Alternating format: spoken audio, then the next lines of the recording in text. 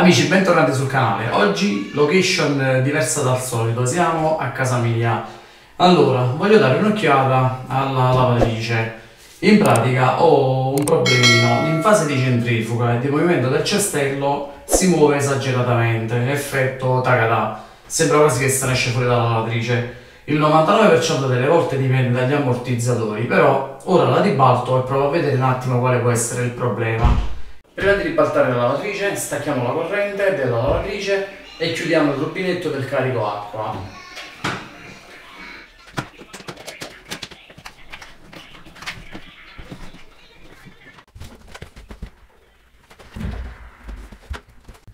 È proprio come pensavo. Allora, l'ammortizzatore a terra è agganciato e sta qua. Quello di sopra, come potete vedere, se n'è uscito. Eccolo qua. Quindi si è proprio staccato dalla carcassa della lavatrice in quanto comunque premetto che comunque è una lavatrice che ha 6 anni e, e quindi il ferro si è comunque deteriorato. Eccolo qua. Quindi quello che faccio adesso? Allora visto e considerato che si è distaccato dalla struttura questo bulloncino era avvitato sulla struttura in questo modo così. Però si è comunque staccato allora quello che faccio adesso dato che ho già dei buchi predisposti qua mi faccio una piastrina e l'applico qua sopra. Il bulloncino lo vado ad avvitare sulla piastrina e la piastrina la vado ad avvitare su questi fori che ho già qua. Quindi mi segno con un pezzo di carta come stanno predisposti i fori e vado a fare la piastrina e mi trasferisco in garage. Ok quindi bastano anche un 4-5 cm quindi l'applico all'interno in modo tale da potermi segnare e mi segno i fori come posso effettuarli.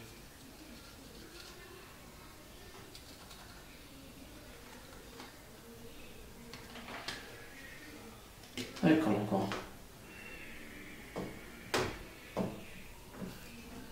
Quindi i fori che ho all'esterno ci applicherò un bulloncino e un dado per potermi fissare sulla piastra, sulla struttura e invece questo centrale lo farò leggermente più largo da poterci inserire il bullone dell'ammortizzatore, della parte di sotto dell'ammortizzatore. Allora, ci trasferiamo in garage, vedo un po' quello che ho a disposizione e ci vediamo tra poco.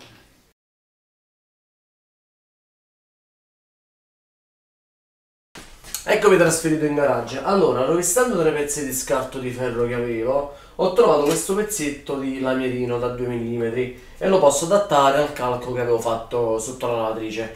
L'unica cosa lo ritaglio un po' perché se no non c'entra sotto la lavatrice. Allora, una volta modellato, inizio a fare anche i fori per poterci fissare le viti e di conseguenza l'ammortizzatore. Allora, io inizio a tagliare. Ci vediamo tra poco.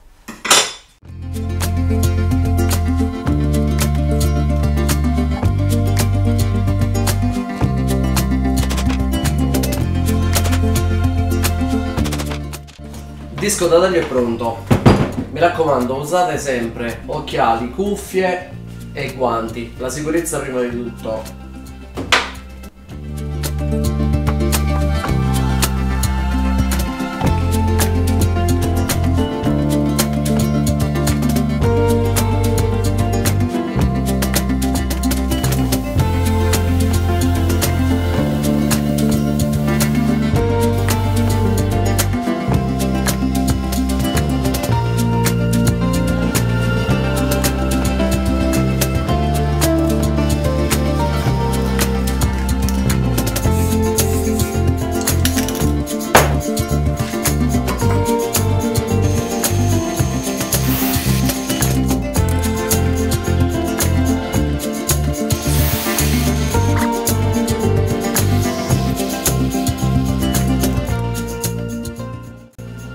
Adesso con il flex vado a rimuovere la bava che mi ha fatto effettuando i fori.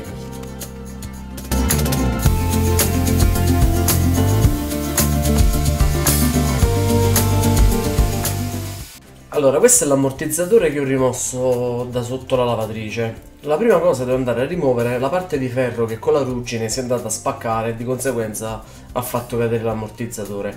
Quindi svido il bulloncino e rimuovo questa parte di ferro.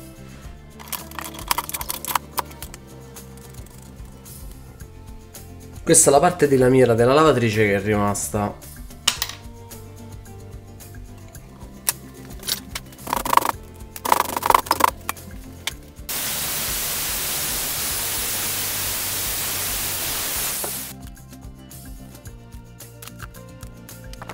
Allora, la piastra di ferro l'ho fissata qua sopra, adesso quello che devo fare con un paio di viti a testa piatta da 2 cm di lunghezza, diametro 6, le vado ad installare qui sopra.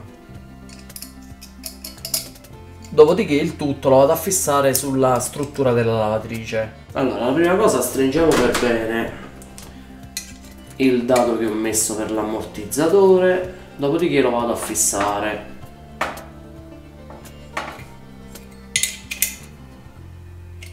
Prima di fissare naturalmente l'ammortizzatore sulla carcassa. Dobbiamo infilarlo nella parte superiore in questo modo.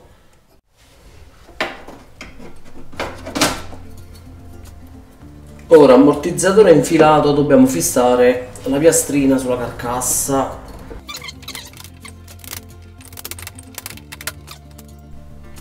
Poi dado e rondella e fissiamo il tutto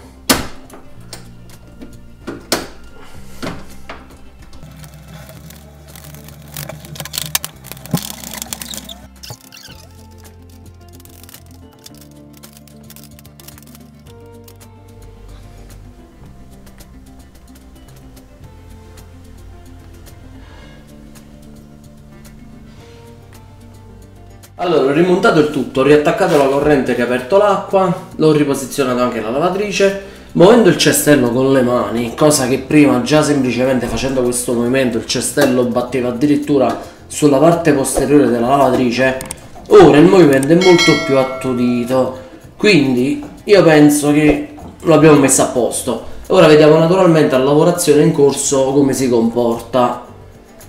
E questo è tutto. Allora, se il video vi è piaciuto vi invito a mettere mi piace e iscrivervi al canale naturalmente se non l'avete ancora fatto. E vi aspetto sul canale per altri progettini e per altre piccole riparazioni. Per ora vi saluto, ciao ragazzi a presto!